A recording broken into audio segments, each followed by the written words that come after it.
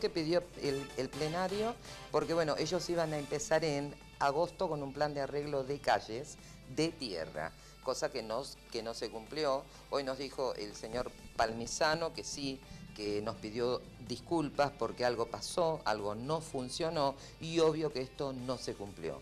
Lo que nosotros acordamos y queríamos todos es ver qué pasaba con eso, qué pasaba con las máquinas, ya los 6 millones estaban, la dolomita estaba, las máquinas estaban, algo pasó que esto no se cumplió.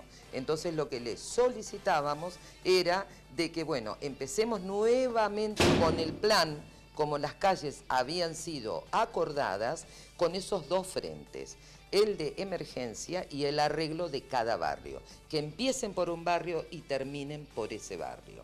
Así que bueno, esa fue una parte de la introducción. No explicó qué pasó.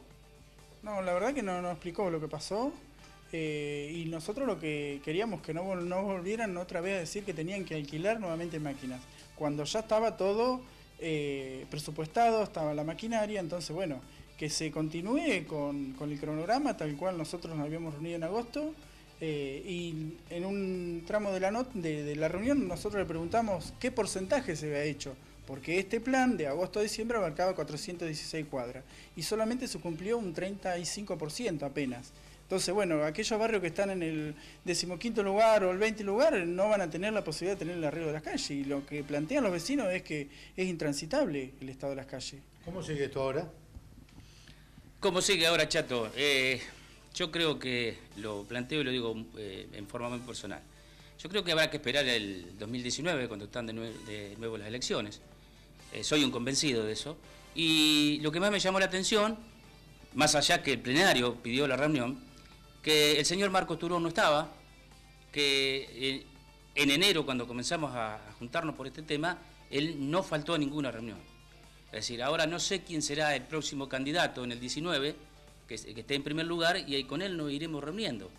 Eh, poco les creo, yo dejo de lado el pensamiento de, de, los que integran el plenario, pero poco les creo que este trabajo se haga. Lo que yo sí pido, por favor, a los vecinos, de los cuales nosotros representamos, que nosotros no somos mentirosos.